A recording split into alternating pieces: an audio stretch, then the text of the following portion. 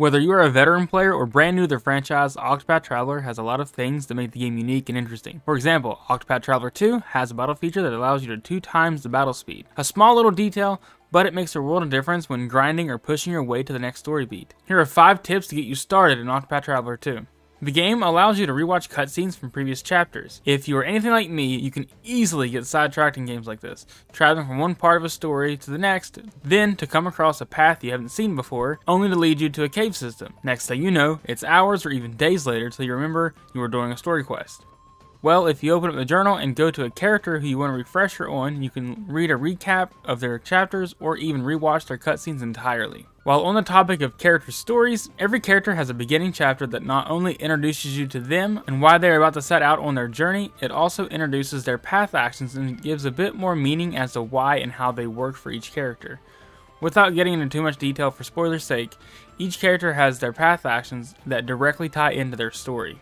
While path actions play an important part of the game overall, allowing you to gather info on hidden items or knock out townspeople to access hidden areas, gathering or collecting each party member as soon as possible is probably the first thing I'd recommend doing. This is also because party members do not scale with your level. No matter how far into other stories you get or how high of a level you are, any new party member will start at level 1. So bringing them into your party as early as possible and doing their chapter 1 will allow you to keep them all around the same level. It's also important to note that they have to be in your active party to gain XP or JP. So keep them on a rotation to keep those levels as even as possible.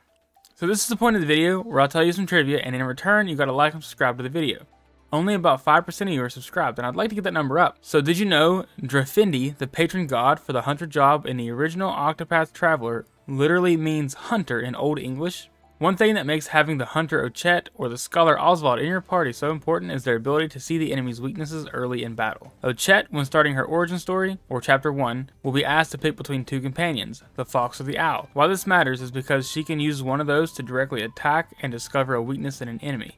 The fox will attack a weapon weakness and the owl will attack an elemental weakness. As for Oswald, he has a skill called Analyze, revealing not only one weakness but also the health of an enemy. And if you use BP, you can reveal up to 5 weaknesses on a single enemy if it's maxed out. Having at least one of these on your team is essential to making battles much easier and less time consuming, searching for weaknesses to break shields. Saving your BP to deal the most damage is how you can effectively and quickly take enemies out and make boss battles much less of a hassle. For example, if you have a boss that has 6 shield points till it breaks, you might be tempted to use all of your BP to max out an attack and deal as much damage as possible. But you won't do that much damage if the shield points are still there and the shield has not been broken yet. Take the time to break the shields then max out your BP and go all out for their weaknesses. Breaking an enemy before trying to deal damage is way more important than just going for brute force, especially when you get to late game bosses. Breaking those shields becomes essential to your survival. Speaking of late game survival, you'll want to get all the jobs to take full advantage of your characters and equip them with their secondary jobs.